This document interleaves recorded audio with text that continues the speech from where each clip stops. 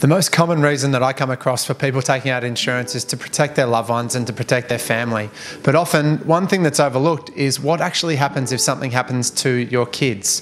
Now, it's hard enough talking about insurance, so I can understand that taking that next step and talking about anything from an insurance perspective happening to your kids. But this is such an important message to get out. And once I've spoken to my clients about the importance of doing this, almost 100% of people end up taking up a small policy for their kids just to give them that peace of mind that if anything goes wrong, that they know from a financial perspective that they're taken care of. I've grouped this video into five main categories. The first category being who it's for, the second category being for what does it cover. Thirdly, I'll touch on why it's so important to have. Fourth category is going to be around how to get this done. The fifth category we'll look at is some strategies that you can implement right away to make sure that you've got this protection without costing you any more than you're already spending.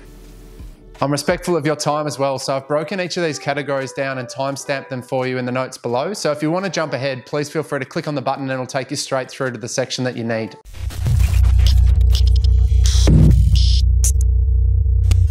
Hi there, it's Craig Bigelow, the founder and head insurance expert at True Pride. I bring out videos like this three times a week, Monday, Wednesday, and Friday. The goal of these videos is trying to remove some of the complexities around insurance and help you make better decisions about your insurance. So if you're new here, consider subscribing. So the first category that we'll look at today is who is this child cover for and who am I talking to today? So if you're listening and you have kids between the age of 2 and 15, this video is for you.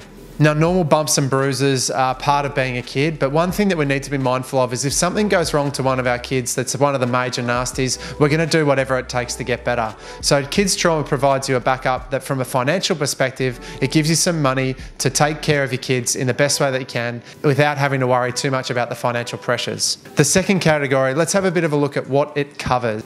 The kids' trauma policies cover anywhere from 16 to 35 conditions, but broadly speaking, they're quite similar in their makeup. The types of things that are covered are anything from burns, coma, cancers, right through to terminal illness or death itself. For most of these providers, the entry age for these policies is, is when your kids turn two, and the latest that they can apply for cover is when they turn 15. The policies stay in place until your kids turn 21 in most cases, but just check with your, your, policy provider for the specifics around this. The third category we're going to look at is why do you need this cover in the first place or why you should consider it.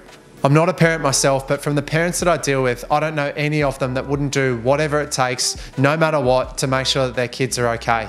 The other thing to note that is that if anything happens to your kids, one of you or both of you become the primary carer in most instances for your kid to make sure that they get better as soon as possible. What this does is it typically has a downward pressure on your income, meaning you need to take extended time away from work without any policies that you can personally claim on yourself. So this is a double-edged sword, being the fact that you've got less income coming in and potentially more medical expenses to make sure that your kids are okay.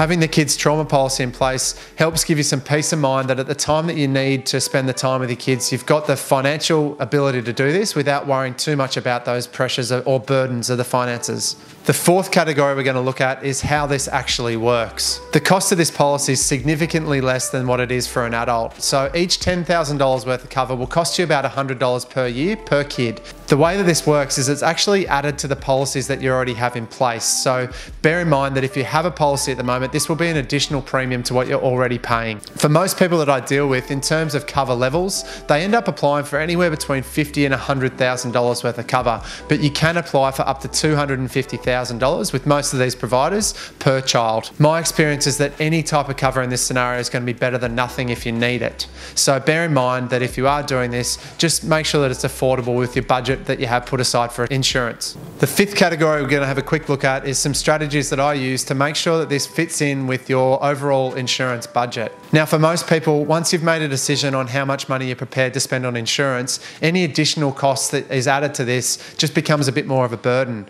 The first thing that we look at often is simply reducing the amount of cover that you have personally for the two of you, maybe your husband and wife. Reduce the sums insured for you slightly to accommodate the additional premiums for the kids that you take on under this policy. What this does is make a small impact to the cover that you actually have in place, but give you a greater, broader protection for your family in the event of anything going wrong to any of you.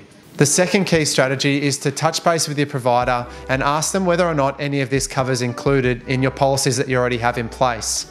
There are some providers in the market that offer a free kids trauma policy, so check to make sure that you don't have any of this included in your policy already. I know insurance is really confusing, and the fact that I can bring out three videos a week shows that there's so much that you need to know. So, if you have questions about the insurance, I'd love for you to send them through to me. Get in touch, and I'll answer them to the best of my ability. Thanks again for watching. Hope you found it helpful, and we'll see you all next time.